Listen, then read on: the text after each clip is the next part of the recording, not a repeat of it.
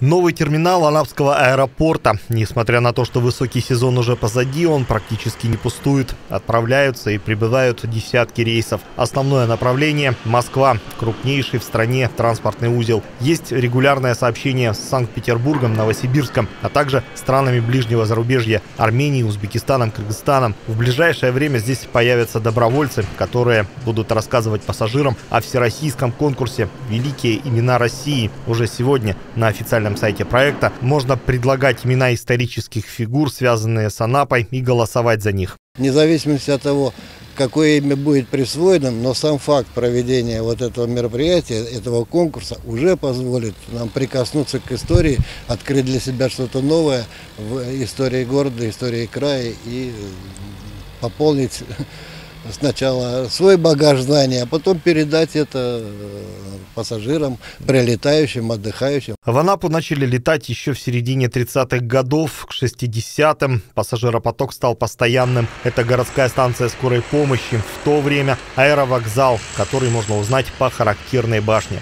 Взлетная полоса в сторону Лысой горы. Чуть больше половины проходила, и самолеты взлетали. Но они маленькие, в принципе, были эти самолеты. Валерий Аганесян работает водителем более 40 лет. Летал отсюда в Донецк за 5 советских рублей. В середине 70-х открылись новые воздушные ворота. А за 9 месяцев текущего года аэропорт обслужил порядка 1 миллиона 300 тысяч пассажиров. На 8% больше, чем за аналогичный период прошлого года. Имя, данное аэропорту, одна из визитных карточек, к выбору которой муниципальные власти и общественники относятся достаточно серьезно. Когда называют аэропорт имени Леонова, да, Кемерова, ну, знают, все знают, кто такой Леонид Титов, все знают далеко-далеко, наверное, во всем мире знают, правильно? Поэтому герои, которые у нас есть, они достойны.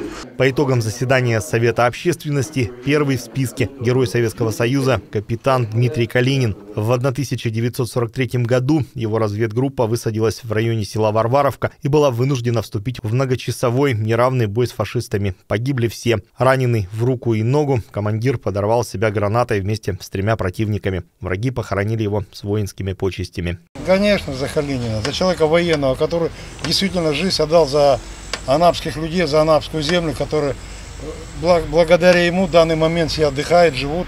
Также в Анапе популярны доктор Будзинский, признанный основатель местной курортной индустрии, монахиня Мария, погибшая в немецком концлагере. В любом случае, имя аэропорта – это ключ к богатой истории Анапской земли. Александр Ребека, Михаил Григорьев, Анапа регион.